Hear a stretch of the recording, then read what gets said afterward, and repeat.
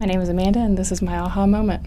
I grew up here in Lubbock and then had opportunities to travel throughout the U.S. and work with a lot of different nonprofits, um, and then took the opportunity to join the Peace Corps.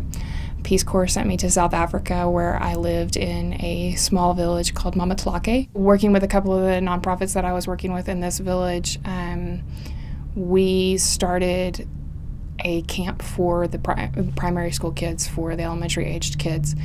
Um, and it was just, it, it was a camp like so many kids go to here, just a day camp where they go and they play games and they have activities and they learn some lessons. After that week, and even I've got, gotten to go back and visit a couple of times, you still see kids walking around with the t shirts that they painted from those weeks.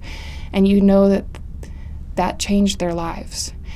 And we didn't do a whole lot. We didn't bring in a whole lot. We didn't spend a whole lot of money. Um, and it was mostly run by the people in that community with a little support from me.